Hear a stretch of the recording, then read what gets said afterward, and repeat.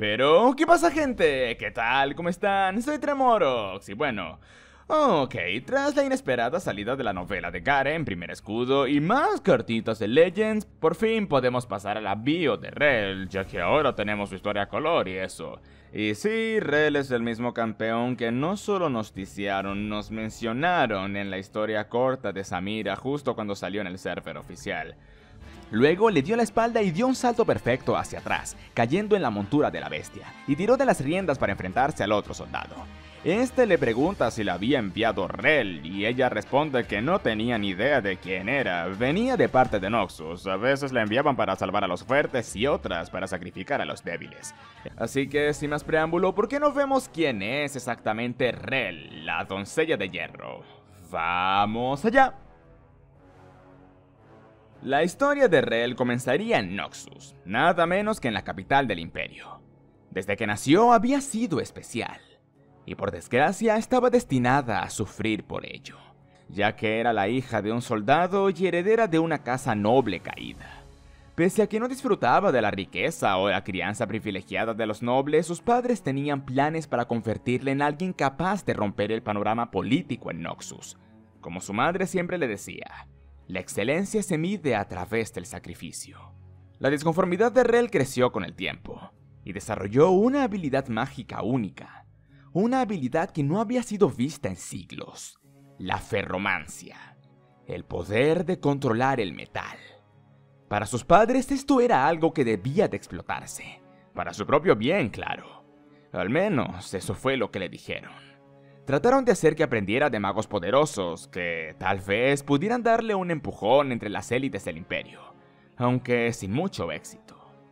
Pero alguien más notó las habilidades mágicas de la niña, y vio en ella una potencial arma para algún día enfrentarse al enemigo más antiguo y odiado del imperio. Así, una dama pálida se presentó ante su familia con una propuesta.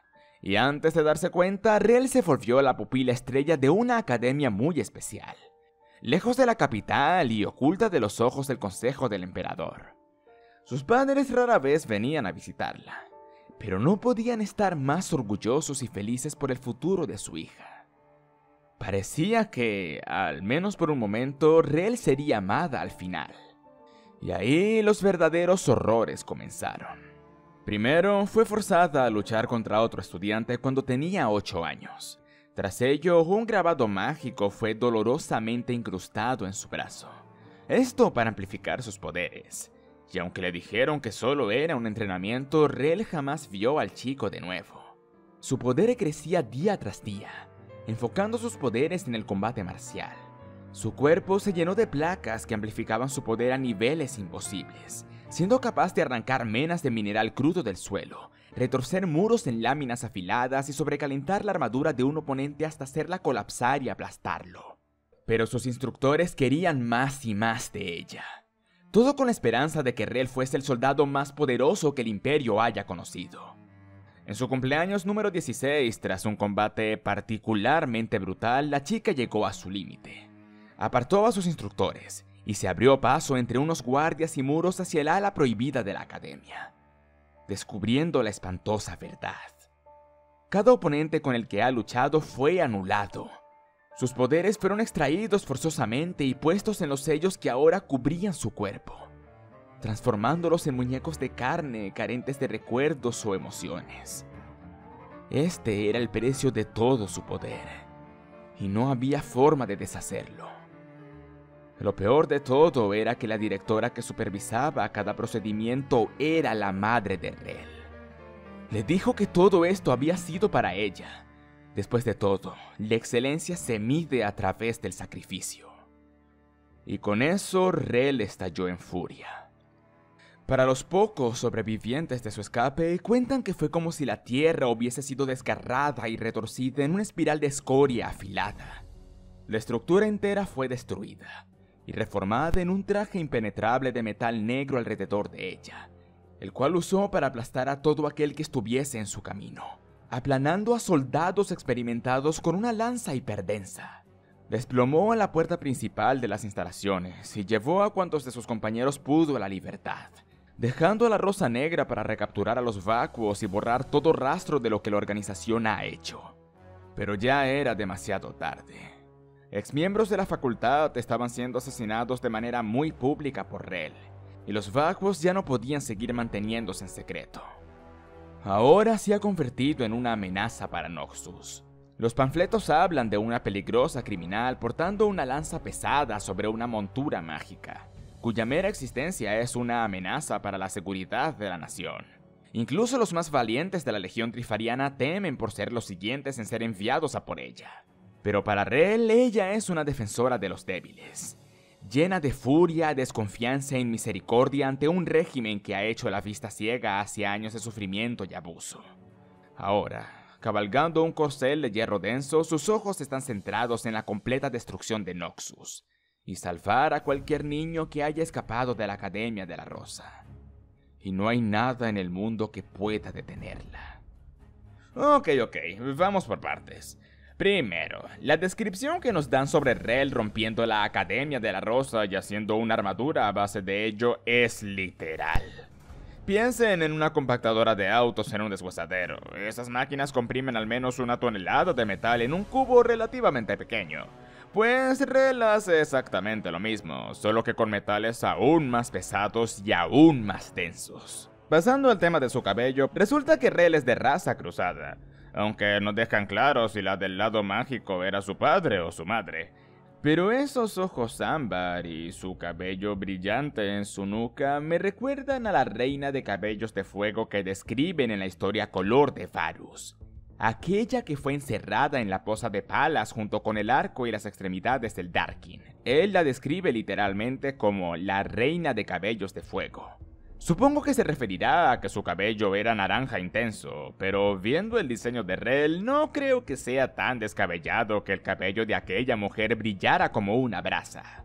Ahora, el asunto de que Rel sea la última ferromante en muchos años. Tengo la teoría que durante el reinado de Mordekaiser, él cazó a todos los magos de metal de Valorant. El renacido de hierro no es un ferromante, es solo un alma mortal muy poderosa que aprendió la lengua de los muertos, el Oknun, y la usó para engañar a unos nigromantes para que lo reviviesen. Su masa de picas tampoco es metal. Cuando revivió, Morde tomó las almas de los nigromantes y las transformó en esa masa. Lo único realmente físico de Mordekaiser es su armadura, la cual está repleta de grabados de Oknun que atan su alma a este reino. Y ahí está su punto débil.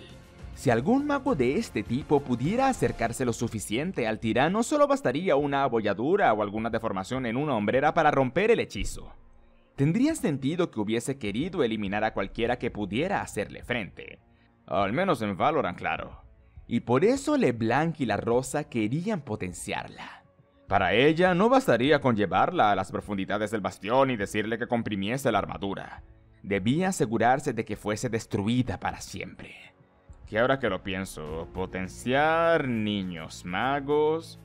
¿Cuáles otros dos prodigios que entraron en contacto con el imperio o con magia elemental conocemos? Oh, cierto, Annie Hastur, hija de Gregory Hastur el Gris y la bruja Amolin Hastur.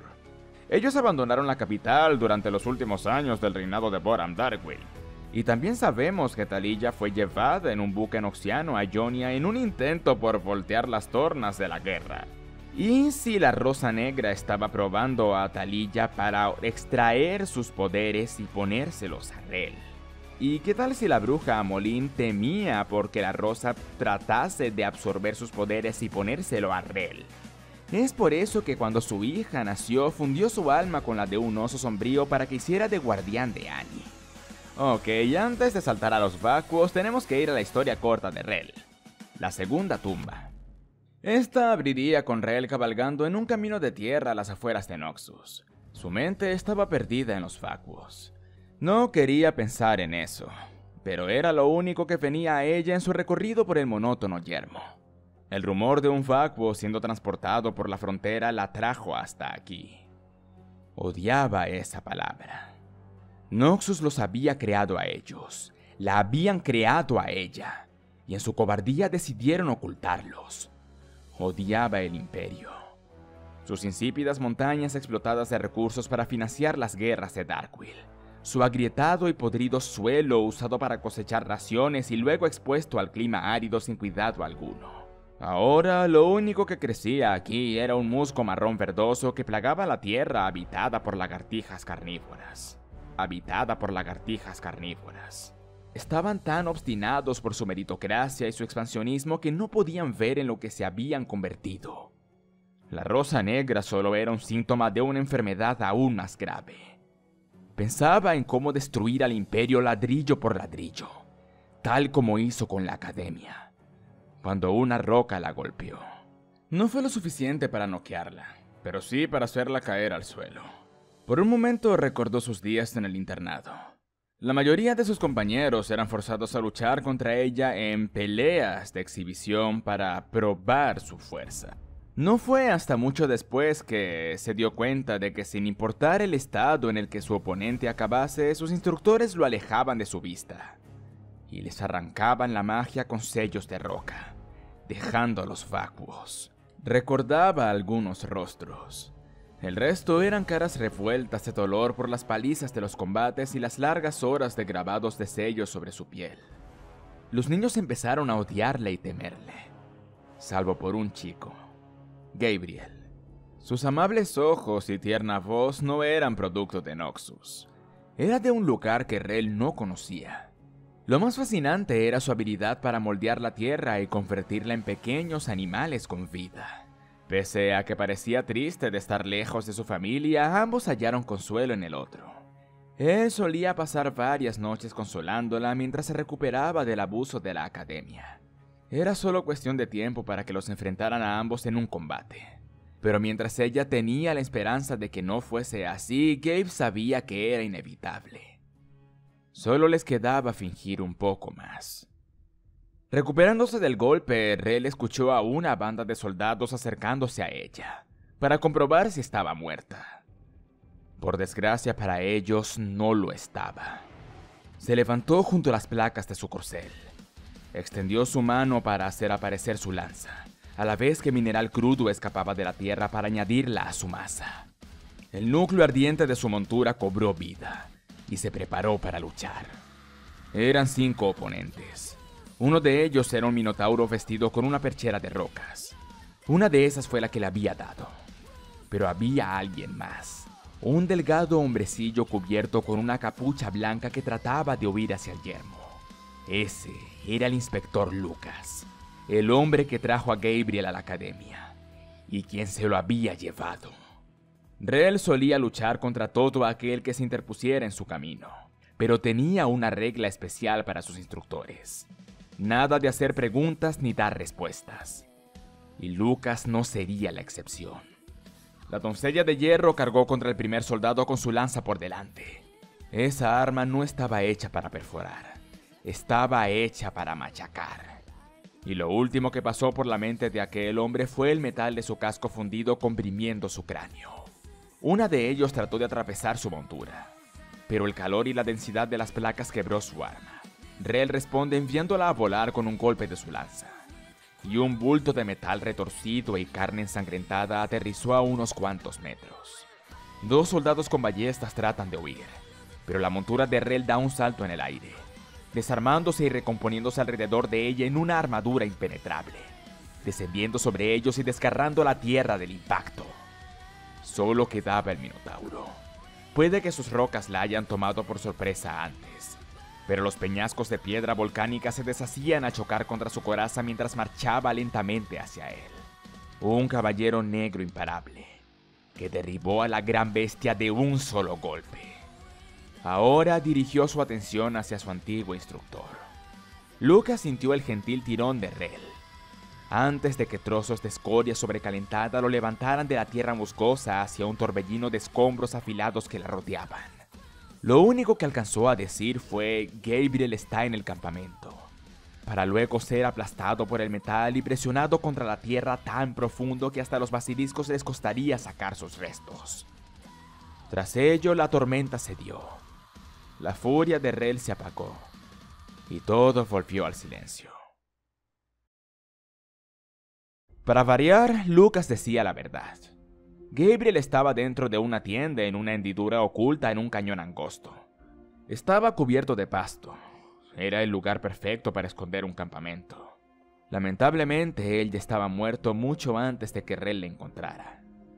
Causa de la muerte, desnutrición. La vacuidad o nulificación no solo robaba la magia de su víctima, sino que desgarraba su alma, dejando solo un cascarón con ojos llorosos que no pedía nada, que apenas hablaba y era incapaz de recordar o soñar. Algunos de ellos no podían siquiera comer por sí solos y debían de ser alimentados. Pero uno que otro pelotón aliado de la Rosa simplemente optaba por abandonarlos en puro desprecio. Reel miró lo que quedaba de Gabriel. Aquel cuerpo arropado en lona que solía hacer figurillas de animales para hacerla reír.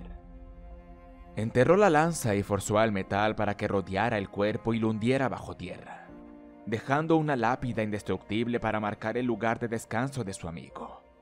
Cerró sus ojos a medida que se alejaba en su montura, tratando de recordar a Gabriel tal como era antes. Pero lo único que podía ver eran los basiliscos royendo los muertos, y su puño acorazado alrededor del cuello de aquella dama pálida.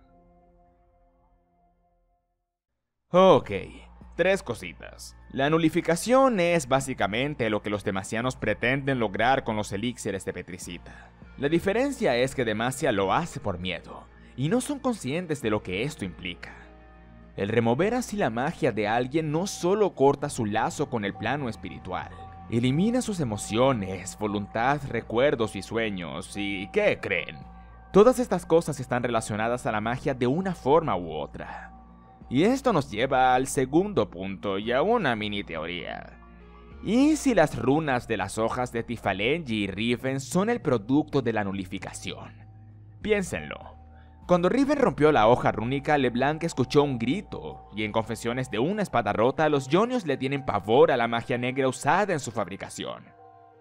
Además, ¿no les parece extraño que la hoja de Riven tenga un escudo y haces energía mientras que la de Tifa solo tenga fuego esmeralda? Es como si el poder de estas hojas hubiese sido tomado de algo más y puesto en ellas.